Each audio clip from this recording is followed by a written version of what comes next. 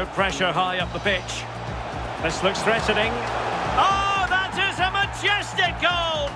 Volleyed home with precision and style. Superbly done. As we can see here, it's great play. They force a mistake by pressing really high up the pitch. And when they win the ball back, just look where